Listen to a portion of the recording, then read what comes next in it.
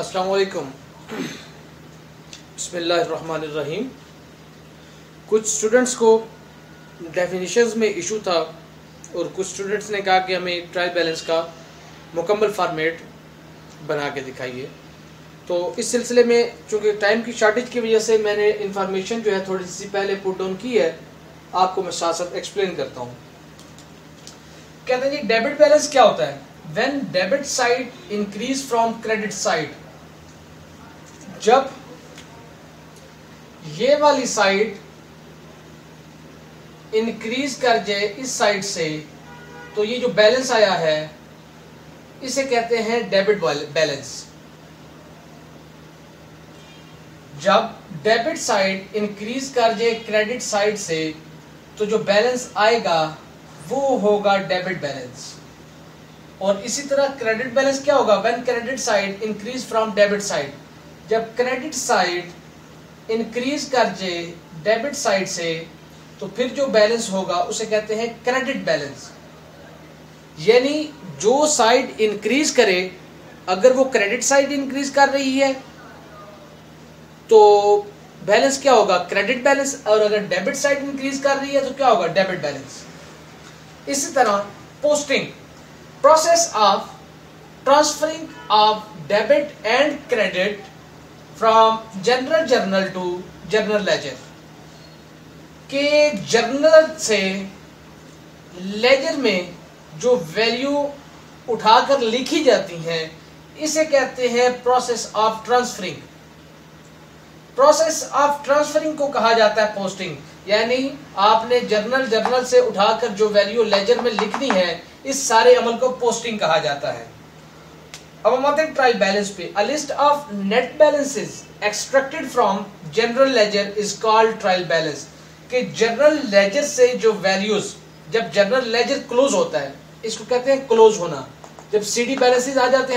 تو اس کا مطلب یہ اکاؤنٹ کلوز ہو گئے یہ اکاؤنٹ جب کلوز ہوتے ہیں تو یہ ویلوز جو کلوز ویلوز ہوتی ہیں یہ ساری کی ساری اٹھا کے آپ کی طرف لے جاتے ہیں ٹرائل بیلنس میں اور اب ہم ٹرائل بیلنس کا فارمیٹ بناتے ہیں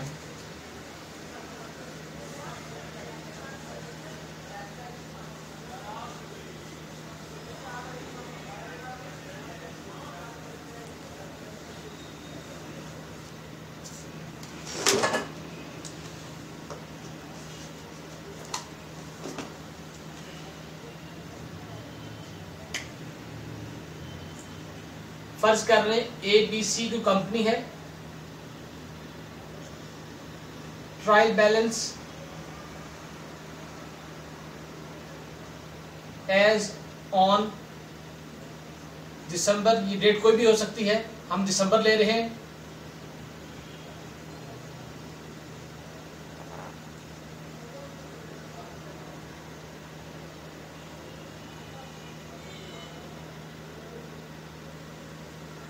جیسا کہ پہلے ہم بتایا ایک کریڈٹ کا کالم ایک ڈیبٹ کا کالم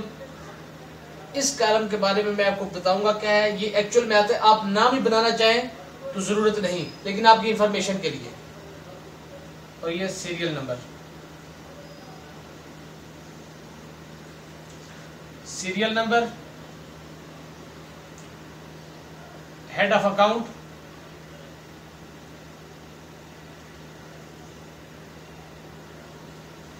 یا آپ اسے اکاؤنٹ ہیڈ بھی لکھ سکتے ہیں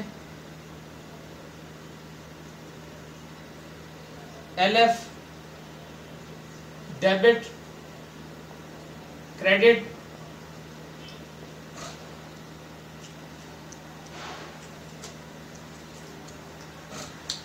L F ledger folio اس کا مطلب یہ ہے کہ ہم جو بھی یہاں پہ اکاؤنٹ ہیڈ لکھیں گے اس کے آگے کوئی نمبرنگ ڈال دیں گے تین سات نو اس کا مطلب یہ ہے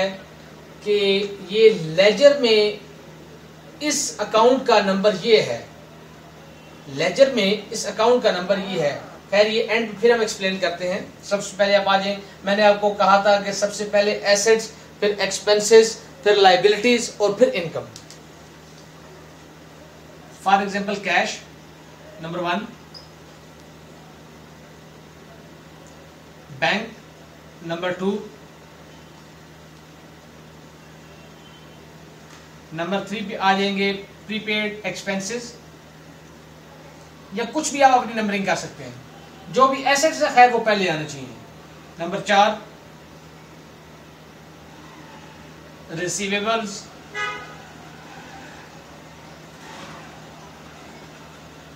بل ریسیویبلس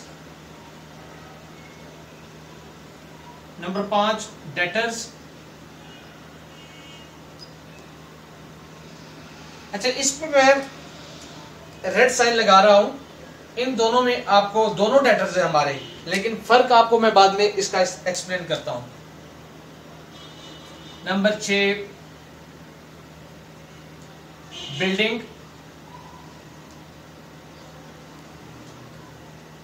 جگہ کے حساب سے میں اتنے ہی ایسٹس لے رہا ہوں expenses rent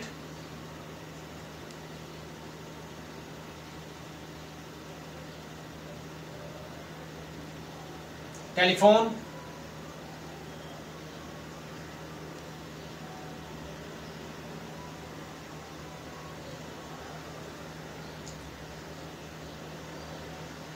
electricity bill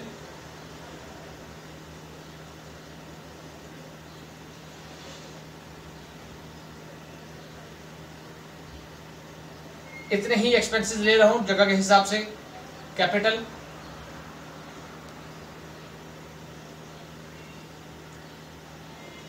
creditors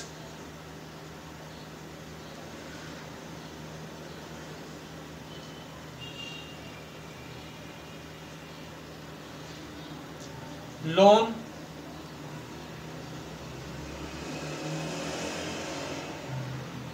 اب انکم کی طرف آئیں گے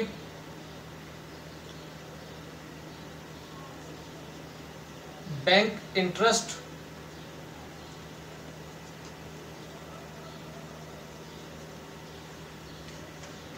آپ نے اگر کسی کو انٹرسٹ دیا ہوا ہے اس پہ جو آپ نے اگر کسی کو لون دیا ہوا ہے اور اس پر جو آپ انٹرسٹ لے رہے ہیں کمیشن ریسیوڈ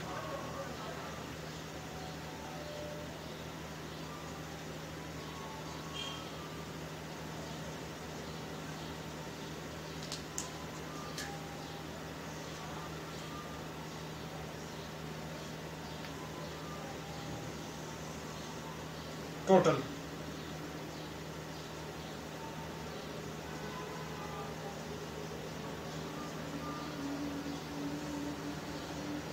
یہ آپ کے ٹرائل بیلنس کا نمونہ ہے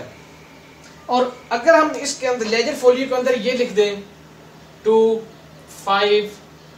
ایٹ سیون اس کا مطلب یہ ہے کہ یہ جو کیش کا اکاؤنٹ ہے لیجر فولیو لیجر میں اس کا نمبر دو ہے یہ ایکسپینسز جو ہے اس کا لیجر میں نمبر آٹھ ہے اس کا مطلب یہ ہوتا ہے اور رہی بات بلز ریسیویبل اور ڈیٹرز کی یاد رکھیے گا ہمیشہ ڈیٹرز اور بلز ریسیویبل ایک ہی چیز ہوتی ہے لیکن بلز ریسیویبل کے ساتھ ایکسٹرا معاملہ کیا ہوتا ہے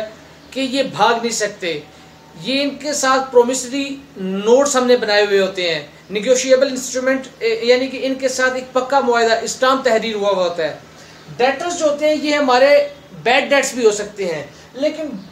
نائنٹی نائن پرسینٹ چانسز ہوتے ہیں بلز ریسیویبل کے کہ وہ بیڈ ڈیٹس نہیں ہو سکتے لہٰذا یہ پکے ڈیٹرز ہوتے ہیں مطلب پیسے دینے والے بندے ہوتے ہیں بھاگنے والے بندے نہیں ہوتے اور ڈیٹرز جو ہوتے ہیں یہ ڈاؤٹفل ہوتے ہیں ہر سال کے آخر میں ہمیشہ ان پر کچھ نہ کچھ پروویژنس بھی کریٹ کی جاتی ہیں لیکن بلز ریسیویبل ہنڈریڈ پرسینٹ جو ہوتے ہیں وہ پیسے دینے پیسے دیتے ہیں جبکہ ڈیٹرز بھاگ بھی سکتے ہیں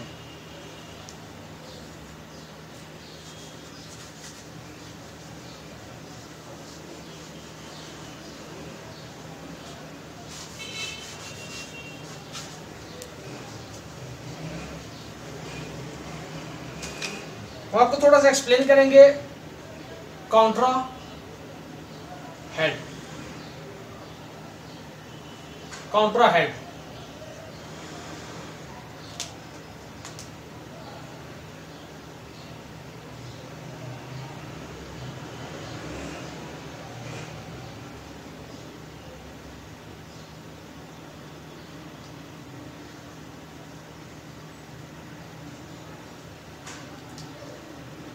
sales ہماری انکم ہے اور یہ کیا ہوتی ہے یہ کریڈٹ ہوتی ہے اس کا بیلنس کیا ہوتا ہے یہ کون سی سائٹ پر آتی ہے یہ کریڈٹ سائٹ پر آتی ہے پرچیزز پرچیزز ہمارے ایکسپینس ہے اور اس سے بعض کیونکہ اس کا الٹیمیٹ افیکٹ اسٹاک کو بڑھانا ہوتا ہے اس لیے یہ ہمارا بعض کا جا کے ایسٹ بھی بن جاتا ہے اور اس میں جو انکریز آئے گا وہ ایکسپنس میں انکریز آئے گا تو ڈیبٹ کریں گے ڈیٹرز ہمارے ایسٹس ہیں اور کیپٹل ہمارا انٹرنل لائبلٹی ہے تو سیلز کا جو کونٹرا ہیڈ ہے وہ ہے سیلز ریٹرن پرچیز کا پرچیز ریٹرن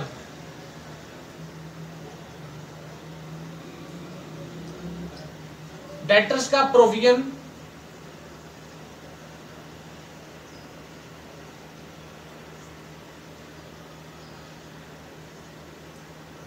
ڈیٹس کیپیٹل کا ڈرائنگس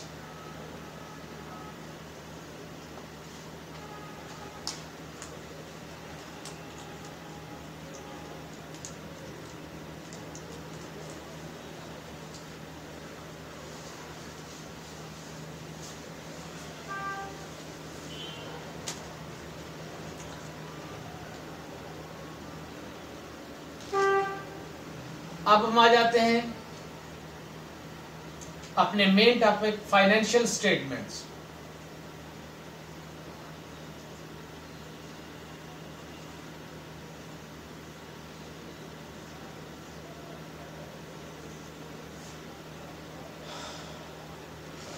financial statements پانچ چیزوں پر مشتمل ہے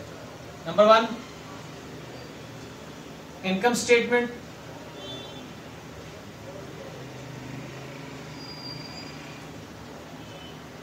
یا statement of comprehensive income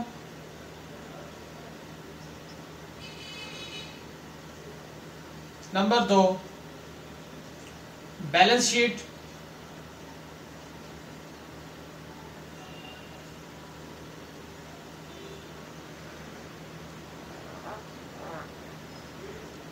statement of financial position,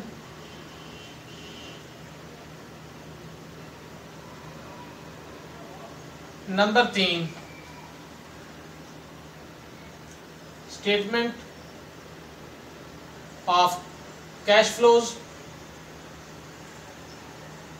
number 4 statement of changes in equity اور نمبر پانچ notes to the account